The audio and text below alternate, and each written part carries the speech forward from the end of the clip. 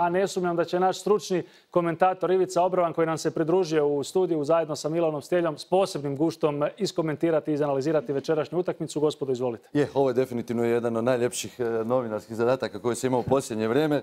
Hvala našim rukometašima na tome. Gospodine Obora, ajmo onako ljudski, kako ste ovo proživjeli? Bili ste tu s nama, vidio sam. Pa do prije deset sekundi smo gledali i već smo ispali iz programa, ali ovim zadnjim golom smo uletjeli unutra u, u produžetke. Trebalo bi nam sigurno puno vremena da iskomentiramo velike čestitke našoj reprezentaciji za fantastičan rezultat plasman u finale. Da, idemo sada onako probati to malo analizirati. Idemo od tog prvog poluvremena. 12-10 za naše kauboje, 10 gola, dakle primili smo od Norveške, to je definitivno bilo odlično, ne samo rezultatski, nego što smo smanjili tempo, ono što je bio i glavni plan. Pa plan je bio sigurno i ispravan da se svede utakmica sporija, bez puno tranzicije. E, mi smo praktično, prvo poluvrijeme i cijelu utakmicu spavali njihovu igru, igralo se gol za gol dugačkim napadom. Ta se taktika za prvo poluvrijeme pokazala uspješna, imali smo prednost i u istom ritmu se nastavilo i u drugom poluvremenu. Iz tog prvog poluvremena, između ostalih nekoliko kvalitetnih stvari, definitivno treba izdvojiti Marina Marića, pet od pet, igre na crtu e, koju do sada nismo toliko koristili. Fantastično je funkcionirala veza Karačić-Marić, u kojem je Marić bio realizator, mislim, pet golova. I nemojmo zaboraviti Marina Šegu koji praktično zatvorio vrata. Mislim da je u jednom trenutku imao 80% odbrana. Mislim da je to bila kriva statistika, ali da ima negdje oko 40% sigurno je. Da, do kraja poluvremena. Da.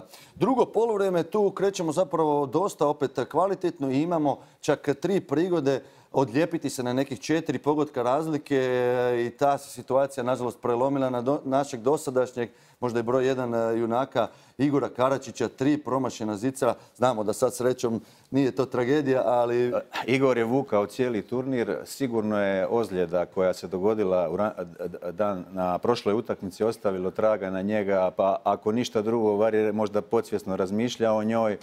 E, to je bila jedna meč lopta možda u tom trenutku. Poslije sve što se razvijelo je prednost na jednoj, prednost na drugoj strani i sve ovo što smo vidjeli do kraja. E, ne znam, to je, bila, to je bio, bio jedan rulet koji je loptica se zatvorila na našem broju i sretni smo. Dobro, ali vodio nas je pogotovo kada je stalo sa svih strana Domagoj Duvnjak. O njegovim igračkim kvalitetama znamo sve, ali ajmo pričati malo o srcu tog pa, dječka fenomena. Recimo da je večeras bila bio e, direktni dvoboj dvojice ponajboljih igrača ovog prvenstva Sagosena i Duvnjaka. Ok, Sagosen je postizao nekakve golove, e, možda iz nemogućih pozicija, međutim kad se, evo večeras je bila prava prilika usporede sve situacije u igri što je radio Duvnjak u obrani, u napadu, u asistencijama, preuzimanju odgovornosti na sebi, konkretno onim situacijama 7 protiv 6, e, odlučujućem sedmercu za ne znam koji produžetak ili već se, već se ne mogu sjetiti.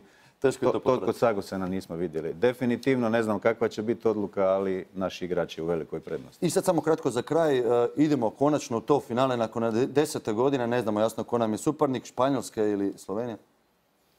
Pa što da vam kažem, koga bi radije i protiv koga imamo više šanse, večera smo se dodatno iscrpili, međutim dobili smo i dodatni naboj za tu utakmicu.